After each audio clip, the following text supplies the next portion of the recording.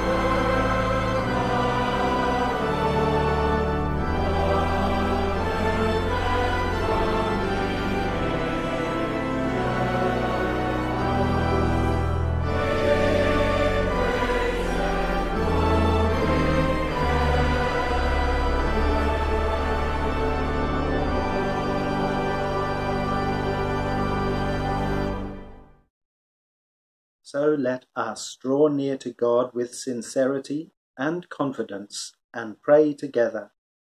Almighty God, our Heavenly Father, we humbly admit that we need your help.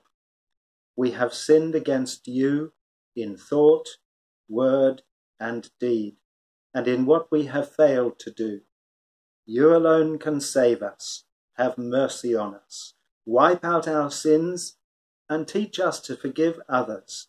Strengthen us to serve you and live our lives to your glory. Through Jesus Christ our Lord. Amen. God does not want anyone to be lost, but that all should turn to Christ and live. In response to his call, we confess our sins. He forgives those who truly repent and believe the gospel. Therefore we have peace with God through Jesus Christ, to whom be glory and honour forever. Amen. Our service today is on the theme of our responsibility to God for the environment. Let us pray. Heavenly Father, as we listen to your word, give us spiritual wisdom and understanding so that we may know you better, love you more, and please you in all that we do. Through Jesus Christ our Lord. Amen.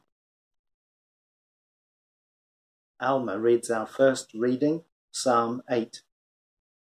Lord, our Lord, how majestic is your name in all the earth. You have set your glory in the heavens. Through the praise of children and infants, you have established a stronghold against your enemies, to silence the foe and the avenger. When I consider your heavens, the work of your fingers, the moon and the stars which you have set in place, what is mankind that you are mindful of them? Human beings that you care for them. You have made them a little lower than the angels and crowned them with glory and honour. You made them rulers over the works of your hands. You put everything under their feet. All flocks and herds and the animals of the wild, the birds in the sky and the fish in the sea all that swim the paths of the seas. Lord, our Lord, how majestic is your name in all the earth. Katie points us again to that task for humanity as we read Genesis chapter 1, beginning at verse 26. And then Peter Budd will preach God's word to us. Genesis chapter 1, verses 26 to 30. Then God said, Let us make mankind in our image, in our likeness, so that they may rule over the fish in the sea and the birds in the sky, over the livestock and all the wild animals, and over all the creatures that move along the ground. So God created mankind in his own image. In the image of God he created them. Male and female he created them. God blessed them and said to them, Be fruitful and increase in number. Fill the earth and subdue it. Rule over the fish in the sea and the birds in the sky, and over every living creature that moves on the ground. Then God said, I give you every seed bearing plant on the face of the whole earth, and every tree that has fruit with seed in it. They will be yours for food and to all the beasts of the earth, and all the birds in the sky, and all the creatures that move along the ground, everything that has breath of life in it, I give every green plant for food. And it was so. Let's pray. Creator God, open our eyes and guide our thoughts. Help us to appreciate all you've made and fully to understand our role on this planet. In Jesus' name, Amen. 25th of December 2005. We camped in a remote part of Ethiopia by the Awash River where it makes its way down into the heat of the Danakil Plain. A crocodile lurked under a bush by the kitchen area. The vervet monkeys stole our biscuits. And I had eaten something that upset my tummy. In the middle of the night, I staggered out of the tent to the edge of the camp where I was distinctly unwell. But then I looked up, and for a moment I forgot how I was feeling, forgot everything else. For above me, the great dome of the clear African sky was filled with a vivid, vibrant array of stars. There, many miles from any electricity, from any artificial light, the sky looked much as it must have centuries ago when a shepherd boy out in the hills with his sheep contemplated the night sky. Much as it must have centuries ago when the psalmist sang, When I consider your heavens, the work of your fingers, the moon and the stars which you have set in place. What an awesome God is the God who could dream all that up. Lord, our Lord, how majestic is your name in all the earth. You have set your glory in the heavens. When it's just you and the bush and the vastness of the night sky, you feel very tiny, small and insignificant. All of humankind just a speck in the universe. What is mankind? Small and insignificant, and yet, and yet, if we believe the psalmist, that awesome God cares for us. What is mankind that you are mindful of them? human beings that you care for them. God cares. More than that, God gave humankind a very special position. You have made them a little lower than the angels and crowned them with glory and honour. What a privilege that such puny creatures as us should be crowned with glory and honour. What a privilege, what a position. But it's a position that comes with responsibility. You made them rulers over the works of your hands. You put everything under their feet. Rulers. We've been given rule, or as it puts it in the King James Version of the Bible, dominion.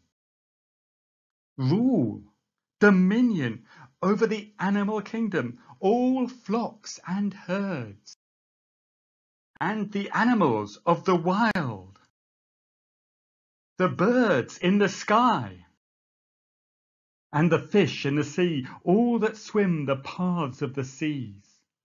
For the psalmist, it's mind-boggling that God should take beings as small and insignificant as us and give us such authority. This psalm takes us back to the beginning of the Bible, to the creation account in Genesis chapter 1, which culminates with humankind. Genesis chapter 1 verse 26. Then God said, Let us make mankind in our image, in our likeness. In our image, in our likeness. The intention is that we reflect something of God within creation, God's image. But exactly how do we reflect God's image? That's something about which people have had all sorts of ideas over the centuries. But one answer is to be found when we read on. There's a role to perform, a job to do so that they may rule over the fish in the sea and the birds in the sky, over the livestock and all the wild animals, and over all the creatures that move along the ground. We're God's representatives in this bit of his universe, kings of the animal world. This is reinforced in Genesis 1:28. God blessed them and said to them, be fruitful and increase in number. Fill the earth and subdue it. Rule over the fish in the sea and the birds in the sky and over every living creature that moves on the ground. A mandate, it seems, to populate, fill the earth, to control, subdue it, to reign, rule over kings of the animal world, kings of the earth. But in this world as we experience it, a world far removed from the ideal of Genesis 1, a world, according to Genesis 3, of pain, toil, and sweat. In this world as we experience it, kings can be good or kings can be bad. Kings can rule well or kings can be despots. Power can be used responsibly or power can be used selfishly. Rule can mean good stewardship or rule can mean unbridled exploitation. What sort of rule, what sort of dominion do we exercise in this world? Humankind has certainly been fruitful and increased in number with a global population of 7.8 billion and growing. And half of all habitable land under agriculture. Humankind has filled the earth and subdued it, but do we rule well or do we rule badly? What is human activity doing to the earth we have responsibility for? Destruction of forests, 502,000 square miles of forest, an area larger than South Africa, lost between 1990 and 2016. Extinction of species. We don't know for sure how many species of plants, animals, fungi and bacteria there are on Earth, perhaps 2 billion. But we're aware of many species we've driven to extinction, from the dodo to the western black rhinoceros, to the Rabbs' fringe-limbed tree frog. Pollution of the land, plastic waste being just one visible sign of human activity turning up even in the Antarctic. Misuse of water, 2.2 billion people without access to safely managed drinking water and more than half the world's population without safely managed sanitation services. Changes to the air. If we just consider carbon dioxide, levels in the atmosphere have increased by over 40% since pre-industrial times, contributing to a measurable rise in average global temperatures potentially leading to catastrophic climate change. This is all the very opposite of what we read in Genesis 1, where God creates richness and diversity, and it's good. There are certainly those who think not only that we've been irresponsible in the way we've used this planet's resources, but also that Christian teaching in particular is to blame for a devastating environmental crisis. In 1967, an American historian, Lynn White, published a paper in the journal Science entitled The Historical Roots of Our Ecologic Crisis. In it, he argued, we shall continue to have a worsening ecologic crisis until we reject the Christian axiom that nature has no reason for existence save to serve man. Following from that, many have come to see Christianity as an eco-villain and that's something we must address if we're to be effective witnesses in the contemporary world. So, was Lynn White right in saying it's a Christian axiom that nature has no reason for existence save to serve man? If we go back to the Bible, back to the source. Is that what it teaches? Yes, Genesis 1 gives mankind rule, dominion over nature. But the context is that of being made in God's image. Our relationship with nature is intended to be a reflection of God's relationship with the world he created. A reflection of the God who thought everything up and spoke it into being. Of the God who sees it all and sees that it is good. So, what sort of rule is humankind intended to exercise? Surely a rule that is responsible and caring, not domineering and exploitative. Genesis 1, as I read it, certainly doesn't suggest nature has no reason for existence save to serve man. On the contrary, it implies that the prime purpose of humankind is to care for nature and in so doing glorify God. But it's a sad fact that in the world as we experience it, this world of pain, toil and sweat, we all too often seem to act more like rapacious despots than good stewards.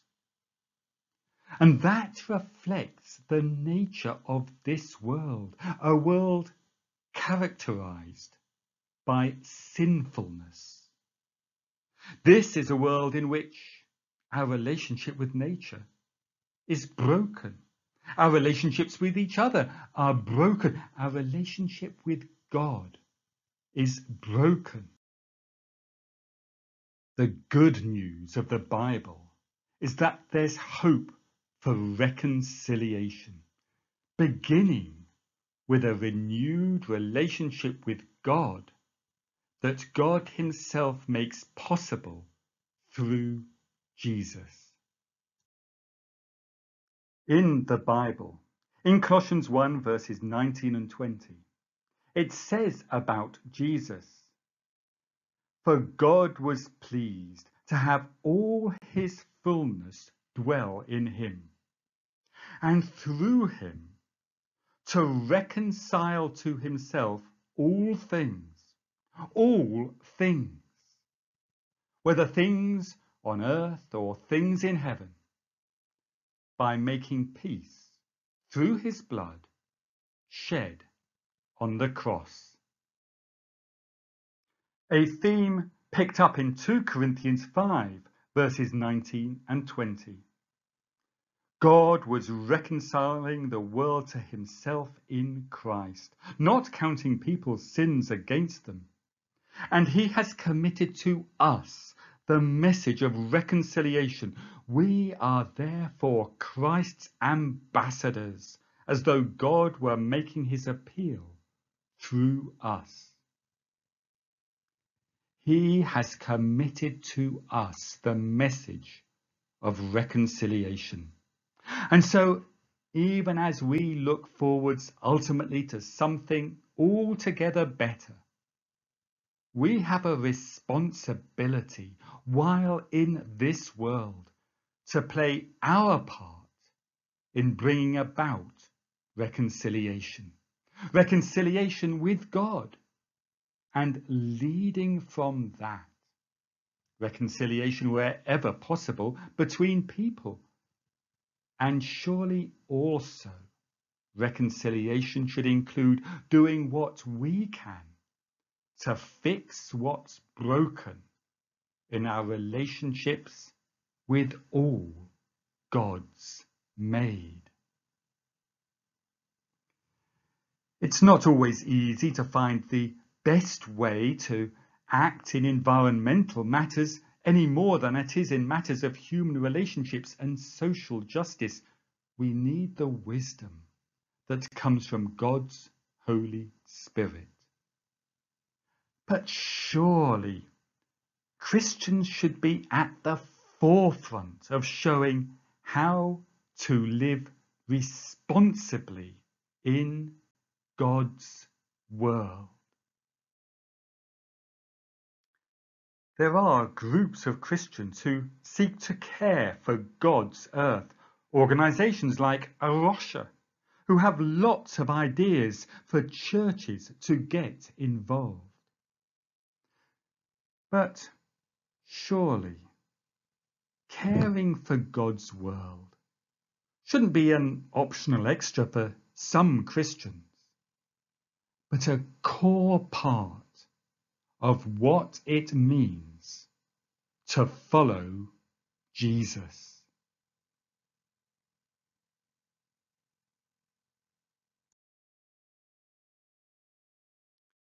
Let's pray. Creator God, we praise you for all that's good and wonderful in the world. Help us as individuals and as a church to hold out your message of reconciliation in its every aspect and to take seriously our responsibility to care for the planet we inhabit. In Jesus' name, Amen.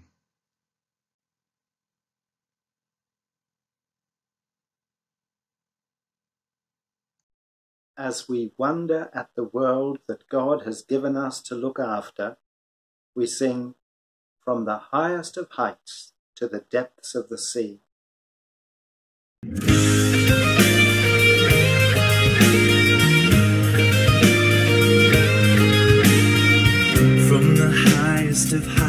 To the depths of the sea. Creation's revealing your majesty.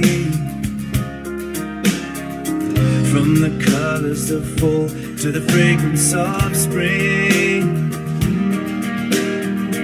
Every creature unique in the song that it sings.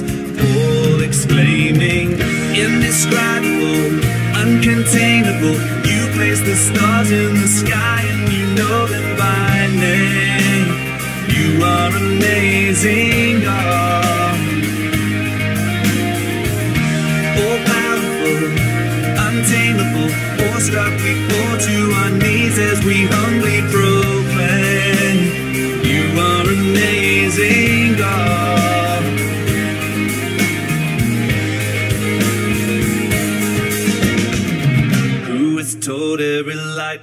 Where it should go? Or seen heavenly storehouses laden with snow? Who imagined the sun and gives source to its light? Yet conceals it to bring us the coolness of night.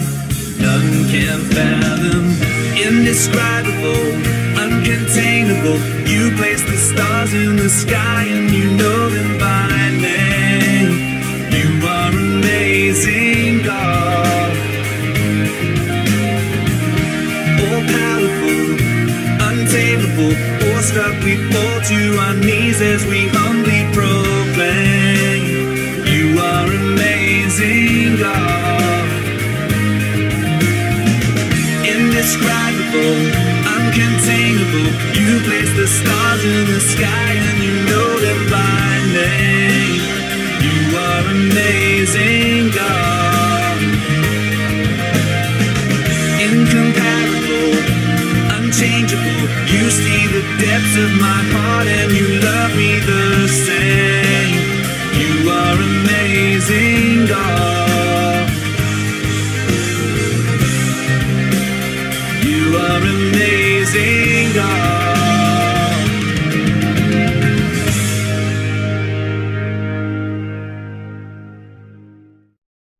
Turn to prayer, first we begin with the general thanksgiving. Almighty God, Father of all mercies, we, your unworthy servants, give humble and hearty thanks for all your goodness and loving kindness to us and to all mankind. We bless you for our, for our creation preservation, and all the blessings of this life, but above all for your amazing love in the redemption of the world by our Lord Jesus Christ, for the means of grace and for the hope of glory. And we pray, give us that due sense of all your mercies, that our hearts may be truly thankful, and that we may declare your praise not only with our lips, but in our lives, by giving up ourselves to your service, and by walking before you in holiness and righteousness all our days. Through Jesus Christ our Lord, to whom with you and the Holy Spirit be all honour and glory, now and forever. Amen. We pray for rulers and those in authority, especially in relation to the pandemic. Sovereign God, we thank you for your word of truth that tells us to pray for those you've appointed to be leaders in the world. We pray that they might not be proud and selfish, but that they would seek the best for the peoples of the world, and that they would lead justly and not stand in the way of the gospel being shared. We pray in particular that there might be solid government in Lebanon and that other nations and people can help rebuild Beirut. And to that end, we pray that a vaccine might be produced and shared, and that countries can produce food and goods and trade for the common good. We pray for peace in Belorussia and other countries where there are disputes over elections, for peace and fairness, not rule by force. We pray for countries that are seeking to develop rights for the original peoples, that they might not be left behind in education, housing, employment, and cultural respect. We pray for the members of Parliament and House of Lords for good laws and for the government to remember the poor and weak, especially the homeless and those seeking asylum.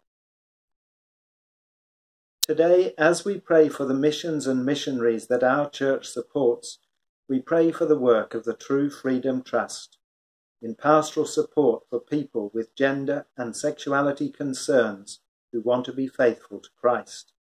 Heavenly Father, we pray for their online conferences to support and strengthen godly singleness and chastity, and to help people live lives without pornography.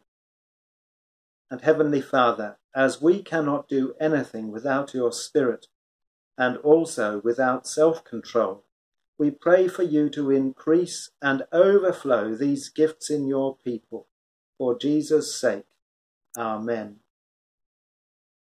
Finally, we pray for people we name in our hearts who may be suffering from bereavement, loneliness, pain, or confusion, that they may know Jesus with them.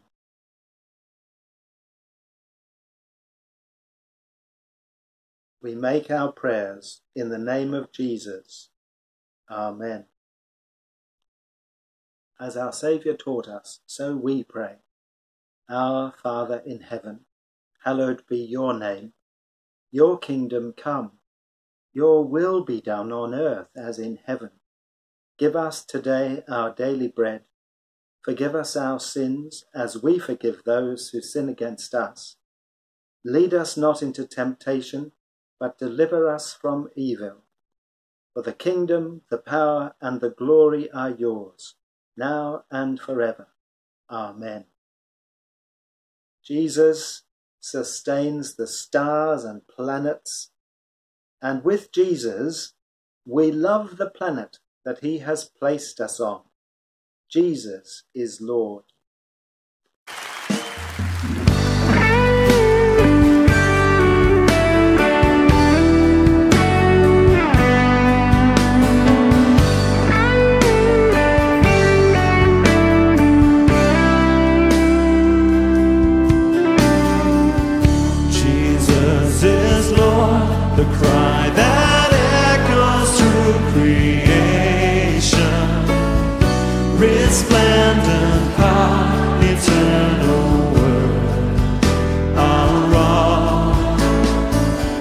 the Son of God, the King whose glory fills the heavens. Yet come to taste this living bread. Jesus is Lord, whose word sustains.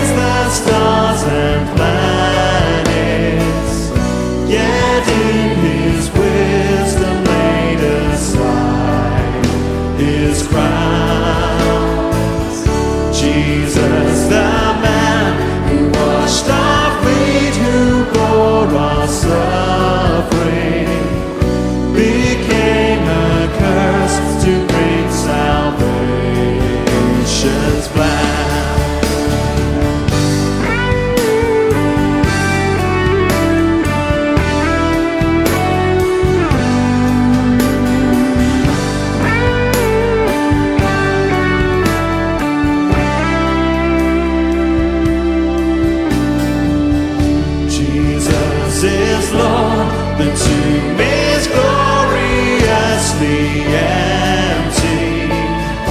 Not even death could crush this King of love. The price is paid, the chains